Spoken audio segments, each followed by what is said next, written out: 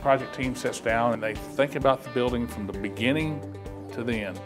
Think about, you know, what, what are all, all the potential issues that could come up from a safety standpoint and quality standpoint. I'm trying to communicate everything that we possibly could know, foresee as a risk upon the job. One of the things we, you know, we like to do is we like to plan and, you know, we have, you know, specific QC measures in place specifically for this is how we this is how we do showers, this is how we address showers in order to, to mitigate that risk and, and basically make it a non-risk at the end of the day.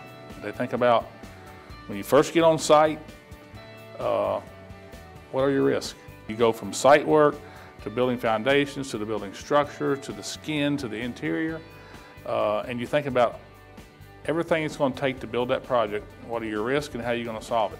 And then you bring in your quality guy and your safety guy who have you know 20, 30 projects at one time going on. So they have a lot of experience at different ways, you know, different things they've seen on projects. And so they bring that tremendous resource to the table. So they come in, they listen, you explain to them what you're going to build.